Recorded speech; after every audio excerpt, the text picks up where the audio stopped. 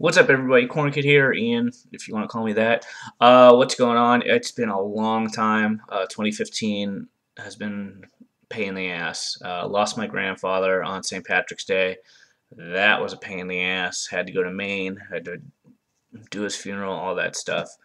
Uh, but so far, I'm being hopeful for Comic Con. That's the one thing I'm uh, looking forward to. But anyway, uh, let's get down to it. If you notice something different about me, it's my glasses. I got new glasses, um, and I kind of just crawled out of bed.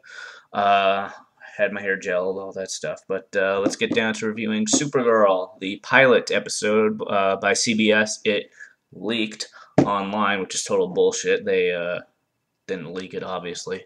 But um, yeah, I'm not going to post the link down below because I don't want to get kicked out or banned from YouTube, blah, blah, blah, blah, blah. Um, first off, there's a tiny cameo, tiny, tiny cameo of uh, Dean Cain and uh, the original um, Lois Lane, Lo Lois, Lois Lane, um, in uh, the Supergirl uh, TV series, which was kind of, which in the pilot, which was kind of cool. Um, I didn't like it. I, I thought it was horrible. The the writing was horrible. They shoved in a lot of stuff in 46 minutes. Um, you know, spoilers uh, for those that didn't uh, that didn't uh, see it. Uh, the first six minutes, the, the six minute trailer of that CBS, that's basically the entire damn thing uh, in a nutshell. Um, the rest of it is fighting.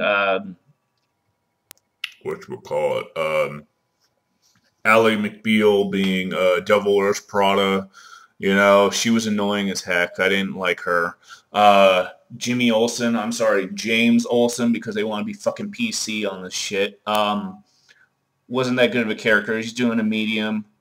Uh, I guess he's going. He's going to be the medium between um, uh, Kara Zor Kara Zor-El, or I'm sorry, Kara, as she likes to be called, because she reiterates it tons of times. Uh, not a ton, but probably about four, like three or four times in uh, the show. Um, she, he's going to be, he moved out there uh, from um, Metropolis to, um, oh fuck, see, I, I can't even remember the damn city, the, the city's name. It, it doesn't ring a bell to me. And Waffles, is, my cat, is trying to bite me. Yeah, you're not going to get me. silly. But yeah, um, not impressed. It was Devil Wears Prada. Uh, not Legally Blonde, but uh, oh god, that that Lifetime show that was on, or was it Lifetime? I don't remember. But yeah, wasn't really thrilled about it. I'm not going to be watching the series. Uh, they dropped the ball. The girl's hot. The girl that plays uh, Supergirl, she's hot. She doesn't look like that mommy uh, Supergirl that they had in the promos, you know. Um, but it was just, to me, it was just a gigantic checklist of what Superman can do. Like, you know, she has her heat vision. They made it blue for some reason in uh, in, this uh, um, in this series. I don't know why. I guess I guess her flame is hotter or something than Superman's. You know, the hottest flame burns blue. You know, um, don't know why. But it was just a gigantic checklist. Okay, we have the suit. We have, we have, oh, it's my family's coat of arms. Oh, that was from Man of Steel. Oh, Supergirl saving a plane. That was in Superman Returns. Oh, she takes off her glasses. She does this. Oh, Superman, uh, Christopher Reeves. You know, Superman 1 through 4. Um, oh, God. And then her dorkiness at, at the, at the, uh, the, uh, uh not even the Daily Planet, the Tribune, I think it was called. Um, you know, oh, we got we got to mention that. You know, that, that's that's important. You know, that that's from the movies. You know, people want to remember that. And it was, oh God. And the thing that pissed me off the most, she gets spoilers. Um, she gets this thing from her mother, her dead mother, from her sister. She has a sister in this show. Um, it's basically a MacGuffin uh, a hologram of her mother saying, "Oh, you're gonna do great things. You know, you're, you're gonna be a, a, fantastic girl. You know, be the girl that you were born to be." Basically, the crap that that Jor-El said to Superman, all that bullshit.